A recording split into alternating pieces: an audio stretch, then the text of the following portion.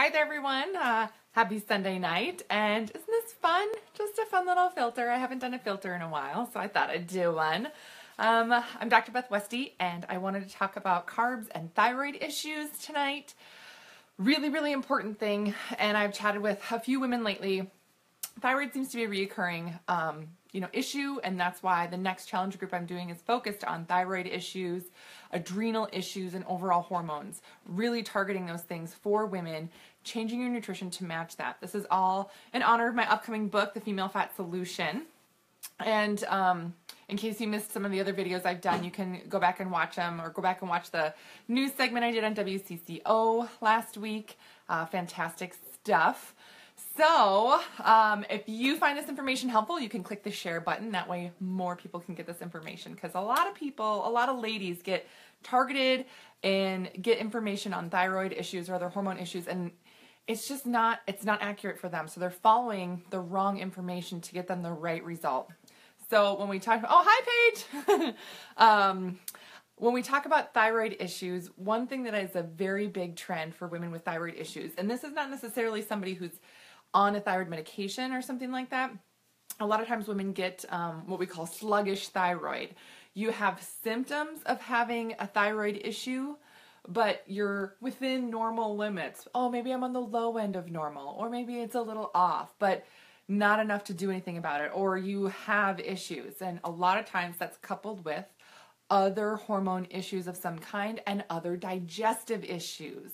That's a huge piece too. There's other um, intestinal problems, whether it be upset stomach or bloating or you know something wrong with your digestive system too. That seems to be a common pair there. So if this is you, this is going to be really helpful in terms of really focusing on getting you the right result. Yay! So we talk about thyroid and carbs, a lot of times women have tried to cut specific things out of their diet and we'll try like no carbs, like eating zero carbs for a period of time and say, "Oh, I'm going to I'm going to get healthy. I'm going to do all these things. Yay! I'm going to cut out carbs." Yay. Okay. And for a period of time you might notice a result, but overall it's not something that you can sustain because then anytime you introduce any type of carbohydrate, any sugar, anything into your system, your body will just hold on to it and tuck it away and just keep it forever and ever and ever. And then the next time you have any little carb, it does, ooh, a buddy for you. I'm going to keep you here too. Ooh, and that just builds and grows from there. And then how do you really target it and how do you really work with that? Carb cycling is a great way where you're introducing carbs into your system. Your body's learning how to burn them, they're not getting stored, and it increases your metabolism. And my favorite thing about it is you get to eat carbs. Who's not who's going to be mad about that, right? So a lot of times, side note, when I do start people off on doing carb cycling, and there the meal plan and everything that I have for women, it does take you through this. So you don't have to count, you don't have to worry about it. It just as long as you're following the, the program, you're doing it. It's so easy then to get taken through a carb cycle. But I do talk about being gluten free while you're doing this purpose of this is that gluten's inflammatory for your body. And if you're going to be focusing on thyroid issues and decreasing and decreasing any digestive issues, going gluten free at least for a period of time can really really help boost the effects of this. So it's going to be easier on your thyroid. Gluten is also really irritating for the thyroid, um, along with some other you know foods but gluten specifically can really irritate thyroid issues. So cutting that out while you're working on boosting your thyroid and working on carb cycling is a great way to do that. So carb cycling then is really also easy to do nowadays because there's so many gluten-free items. You may be concerned about oh sugar or other things in processed um, carbs, but a lot of times the the what I recommend is yes, it's still okay to have a piece of bread or something now and then because it's life, right? you're not going to just not eat stuff all the time. But as long as you're choosing something gluten free, you're not having that extra inflammation in your body. So the gals that I've worked with that have done done the program and gone gluten free and have not done that before, amazing results because of the effect it has on your system when you're going gluten free and going through this carb cycle. So going gluten free for the carb cycle and then focusing on hitting those carb numbers throughout the day. I do have them spaced throughout the day because sometimes you're eating a lot of carb and it's tough to get to that amount by the end of the day if you're not spacing it out. So here's the example of, of a five day carb cycle. This is just days one through five. 200 grams, 150, 100 grams, 50, and then 125. So 125 is a normal amount. These are all grams of carb for the day. So this is a high carb days here, and then you're dropping it down to a really low carb day, and then ending on a normal level here. Now, again, you can use many different times of um, many different types of carbohydrates. Uh, fruit is also a carbohydrate, and any grains, things like that. But again, focusing on a gluten free source is going to be really, really important to get the right result here. Oh, Casey said you're having trouble with the video playing right. Oh, I don't know why. Um, well, I, I, there, there will be a replay. um, so this is, this is a carb cycle. So a couple of things about the thyroid then and how carb cycling plays into thyroid issues.